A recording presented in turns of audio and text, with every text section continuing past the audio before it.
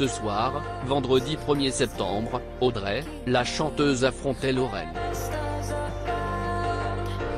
En seulement deux jours, cette dernière aura été en duel face à deux Audrey et même si elle a remporté le premier, le second lui aura été fatal. Les chances de Lorraine d'entrer dans les Masters prennent donc fin ce soir et la jeune niçoise d'origine a accepté de nous dire quelques mots suite à cette défaite.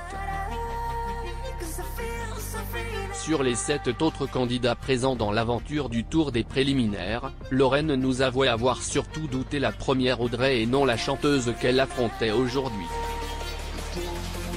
Elle nous expulsait, dans mon parcours des préliminaires, j'ai battu la première Audrey et elle me faisait extrêmement peur parce que je savais qu'elle avait énormément travaillé et que ce qu'elle avait appris était maîtrisé à 100% et qu'il n'y avait pas de faille. Son parcours a été court mais je pense qu'il aurait pu être beaucoup plus long donc j'avais peur que ça soit très compliqué contre elle. À lire également chacun son tour, France 2, un candidat bat un record après plus de 60 participations c'était le jeu.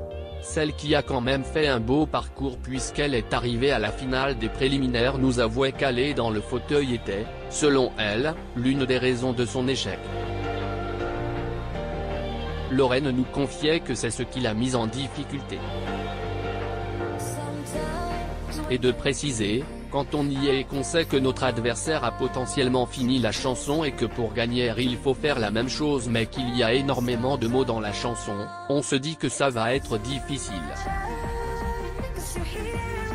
On avance et on commence à douter sur des choses qui ne nous auraient pas posé de problème d'habitude donc, ça a fini par me faire défaut mais c'était le jeu.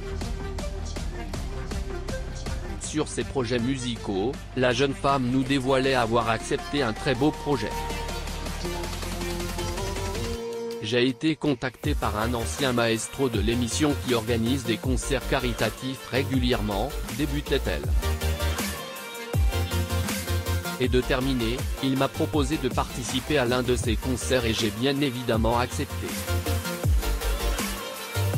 C'est génial et je me dis que je n'aurai peut-être pas l'occasion de faire des concerts tous les jours.